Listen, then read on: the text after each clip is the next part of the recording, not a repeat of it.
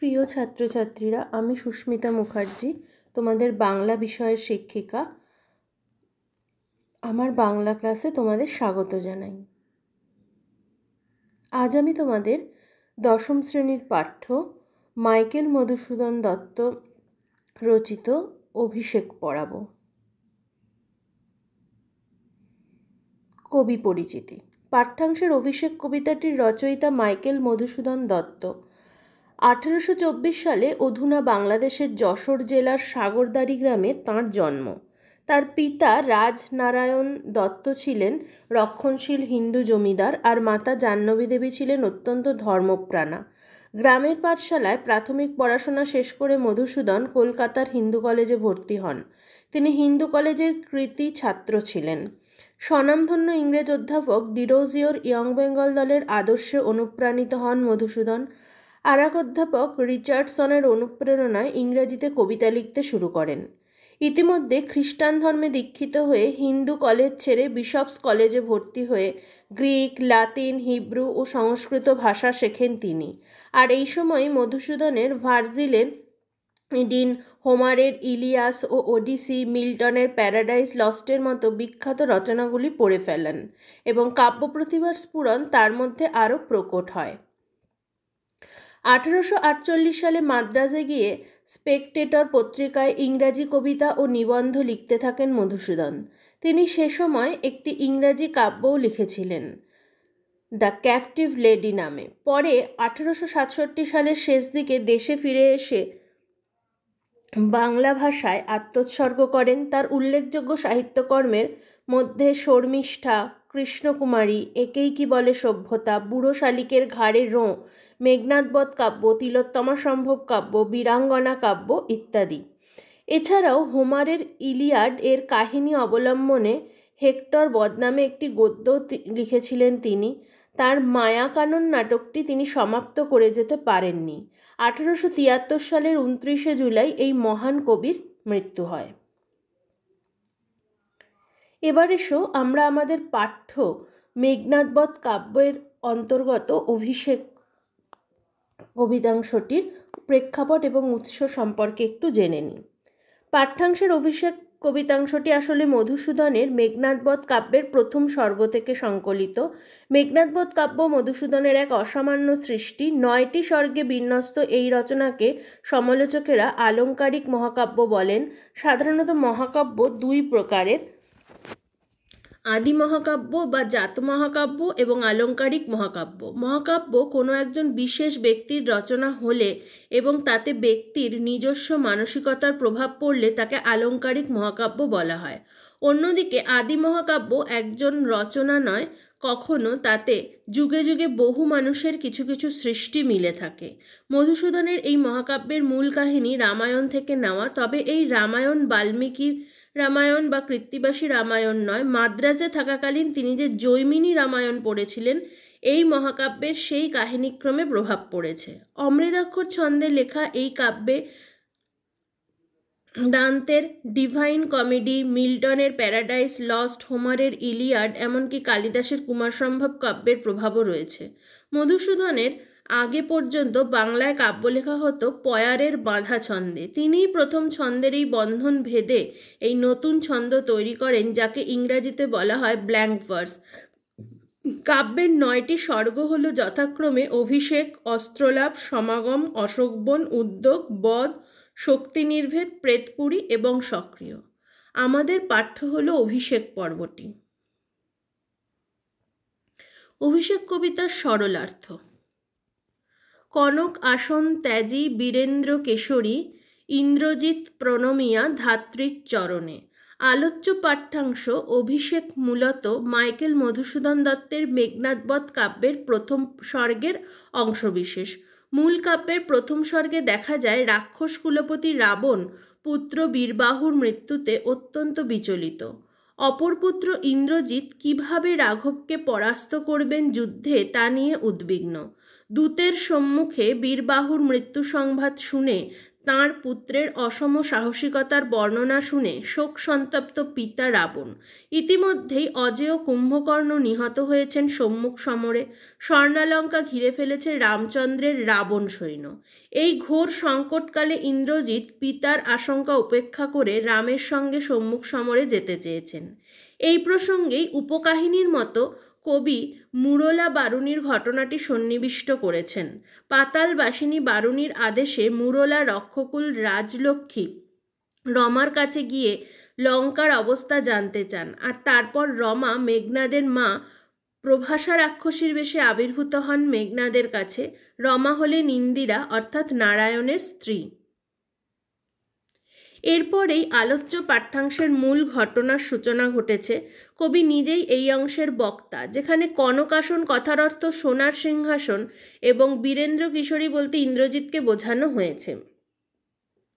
প্রভাষা রাক্ষসীর বেশে রমাকে দেখে সোনার সিংহাসন ছেড়ে বীর ইন্দ্রজিৎ তাঁর মা প্রভাষাকে প্রণাম করে, এই প্রাসাদে তাঁর আসার কারণ জানতে চান। সেই সঙ্গে লঙ্কার কুশলও জানতে চান ইন্দ্রজিৎ তার কাছে। কারণ ইন্দ্রজিৎ তখন প্রমোদ উদ্যানে বিলাসে মত্ত ছিলেন। ইন্দ্রজিৎ জননী শোকাদ্র চিত্তে তখন বীরবাহুর মৃত্যু সংবাদ জানালে ইন্দ্রজিৎ তাঁর ভাইয়ের এরূপ অভাবিত মৃত্যুতে বিস্মিত হন। হায় পুত্র, মায়াবী মানব, সীতাপতি তবসরে মরিয়া বাঁচিল।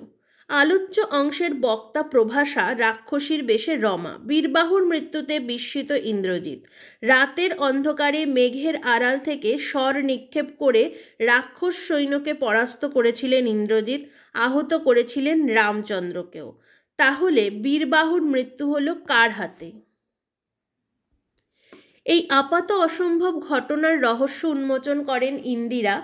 এই অংশে ইন্দ্রজিৎকে মহাবাহু বলা হয়েছে, কারণ তিনি উদার, দানপ্রিয়। ইন্দিরাকে কবি বলেছেন, রত্নাকর রত্নোত্তমা। কারণ রত্নাকর হলো সমুদ্র গর্ভ যা কিনা রত্নের খনি, আর সেই রত্নের মধ্যে সর্বশ্রেষ্ঠ হলেন ইন্দিরা। তার অপর নাম লক্ষ্মী। আসলে পুরাণে আছে, ঋষি দুর্বাসার অভিশাপে ইন্দ্র ত্রিভুবন জয় করতে পারেন না এবং শ্রীহীন হয়ে পড়লে সৌভাগ্যের দেবী লক্ষ্মী সমুদ্রে প্রবেশ করেন। পরে সমুদ্র মন্থনের সময় ঘৃত থেকে লক্ষ্মী উঠে আসেন। তাই তাকে সমুদ্রগর্ভের অন্যতম শ্রেষ্ঠ রত্নের সঙ্গে তুলনা করা হয়েছে। ইন্দিরা জানান, সীতাপতি রামচন্দ্র মায়ার বলে প্রাণ ফিরে পেয়েছেন। সমগ্র কাব্য জুড়েই দেখা যাবে রামচন্দ্রের বিজয়ের লক্ষ্যে দেবতাদের মধ্যে চলেছে এক গোপন ষড়যন্ত্র। দৈব শক্তিতে বলিয়ান রামচন্দ্র সেই দৈবী প্রভাবেই পুনরায় বেঁচে উঠেছেন। এ সংবাদ মেঘনাদের কাছে খুবই অপ্রত্যাশিত। এই সংবাদ শুনে মেঘনাদ প্রচণ্ড ক্ষুব্ধ হয়ে ফুলের মালা, সোনার হার ছিঁড়ে ফেলে প্রমোদ উদ্যান থেকে বেরিয়ে আসেন। নিজেকে ধিক্কার দিতে থাকেন তিনি। এ কি সাজে আমারে দশাননত্তজ, আমি ইন্দ্রজিৎ, দশানন রাবণের অপর নাম। তাই দশাননত্তজ বলতে ইন্দ্রজিৎকেই বোঝানো হয়েছে। লঙ্কার এহেন সংকটকালে ইন্দ্রজিৎ কিনা রমণীদের সঙ্গে উদ্যানে বিলাসে মত্ত। তাই সেখানে তিনি প্রতিজ্ঞা করেন শত্রু নিধন করে তিনি এই অপবাদ ঘোচাবেন। আর এই প্রসঙ্গেই লঙ্কার রাজপ্রাসাদে রাক্ষস কুলপতি রাবণপুত্র ইন্দ্রজিতের কাছে আক্ষেপ করেছেন, কে কবে শুনেছে পুত্র ভাসে শিলা জলে কে কবে শুনেছে লোকমরি পুনঃ বাঁচে শিলা জলের থেকে ভারী হওয়ার কারণে তার জলে ভেসে থাকতে পারে না, অতলে ডুবে যায়। কবি এই প্রসঙ্গে এমন অসাধারণ উপমা ব্যবহারের মাধ্যমে বোঝাতে চাইলেন যে রামচন্দ্র পুনরায় বেঁচে ওঠার ঘটনাটি শিলা জলে ভেসে থাকার মতোই অলিক অসম্ভব। জগতে কেউ শোনেনি যে মানুষ মৃত্যুর পরেও বেঁচে উঠতে পারে। লঙ্কাধিপতি রাবণের এই উক্তির মাধ্যমে ইন্দিরার সংবাদের সমর্থন পাওয়া যায়। এই অংশে এক অমোঘ নিয়তি বা অদৃষ্টের ফেরে বিপর্যস্ত লঙ্কার রাক্ষসরাজ রাবণের চরিত্রটির একটি দিক ফুটে উঠেছে। সাজিল রথীন্দ্রভর্ষ বীর আভরণে মধুসূদন নিজেই এই উক্তির কথক। আসলে মেঘনাথবধ কাব্য যেহেতু আলঙ্কারিক মহাকাব্য, অর্থাৎ এক ব্যক্তির রচনাই তাই বারবার কাব্যের মধ্যে কবির নিজের উপলব্ধি ও চরিত্রগুলির পাশাপাশি স্থান পেয়েছে। রাবণের শোকে মেঘনাদের পরাজয়ের বেদনায় কবি নিজেও যেন শোকার্ত। তাছাড়া আত্মনির্ভর গীতিকবিতা লেখার যে অভ্যাস মধুসূদনের ছিল, তার প্রভাবেও কাব্যের মধ্যে কবির নিজের অনুভূতি ফুটে উঠেছে। রথীন্দ্রস্ফ কথার অর্থ শ্রেষ্ঠ যোদ্ধা। আভরণ শব্দের অর্থ অলঙ্কার, পোশাক ইত্যাদি। প্রমোদ কাননে প্রতিজ্ঞা করার পর ইন্দ্রজিৎ যুদ্ধ সাজে সজ্জিত হন। যুদ্ধের উন্মাদনায় তিনি রথে চড়ে এগিয়ে চলেন লঙ্কার রাজপ্রাসাদের দিকে। মধুসূদন এখানে এটি অতি সুন্দর উপমা প্রয়োগ করেছেন। হৈমবতী সুতা যেমন তারকাসুরকে বধ করার উদ্দেশ্যে প্রস্তুত হয়েছিলেন, তেমনি মেঘনাথের এই যুদ্ধের প্রস্তুতি। হৈমবতী পার্বতীর অপর নাম, অর্থাৎ হৈমবতী সুত বলতে পার্বতীপুত্র কার্তিককে বোঝানো হয়েছে। আবার কবি এখানে মহাভারতের বিরাট পর্বের একটি ঘটনার উল্লেখ করেছেন।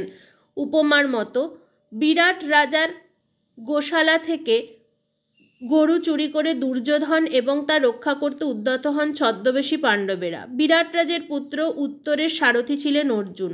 কৌরব বাহিনী দেখে ভীত উত্তর পালাতে চাইলে বৃহন্নলারূপী অর্জুন তখন সমী গাছের আড়ালে লুকোনো অস্ত্র নামিয়ে এনে তাকে আশ্বস্ত করে যুদ্ধ করেন দুর্যোধনের সৈন্যবাহিনীর সঙ্গে এবং গোধন উদ্ধার করেন। ধীরে ধীরে রথ এগোতে থাকে ইন্দ্রজিতের। মেঘ বর্ণের রথের চাকাগুলি থেকে বিদ্যুতের ছটা বেরোচ্ছে। রথের ঘোড়ার গতি বায়ুর মতো দ্রুত। ঠিক এই সময় ইন্দ্রজিৎ পত্নী প্রমীলা এসে তার হাত দুটি ধরে অনুনয় করেন। কবি লিখেছেন, হায় রে যেমতি হেমলতা আলিঙ্গয়ে তরুকুলেশ্বরে। অর্থাৎ লতানো গাছ যেমন বৃক্ষকে আলিঙ্গন করে ওপরে ওঠে বা বেঁচে থাকে, ঠিক সেইভাবেই প্রমীলা তার স্বামী ইন্দ্রজিতের হাত দুটি ধরলেন। স্ত্রীকে ছেড়ে তিনি যাচ্ছেন রণাঙ্গনে। ভীষণ যুদ্ধের আশঙ্কায় প্রমীলা ভীত। তার স্বামী বেঁচে ফিরবেন কি না তা নিয়ে তিনি অত্যন্ত চিন্তিত। আর তাই সনাতন পত্নীর আশঙ্কিত হৃদয়ের আরতি ফুটে উঠেছে প্রমীলার এই উক্তিতে, তবে কেন তুমি গুণনিধি আজ কিঙ্করীরে রাজি স্বামীর বিরহে প্রমীলা কীভাবেই বা থাকবেন? কিঙ্করী শব্দের অর্থ দাসী বা সেবিকা।